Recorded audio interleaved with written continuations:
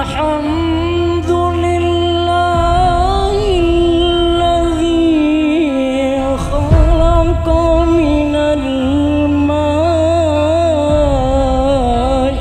بشرا.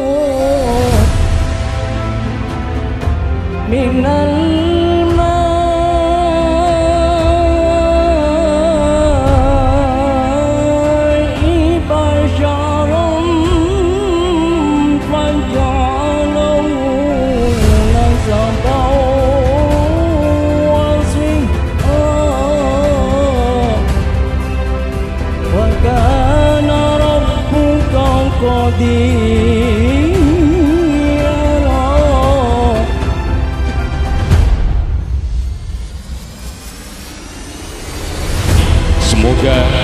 pernikahan yang telah dilangsungkan oleh mereka berdua menjadi pernikahan yang sahih, yang barakah, menghasilkan hidup rumah tangga yang sakinah, mawaddah warahmah. Amin ya rabbal alamin.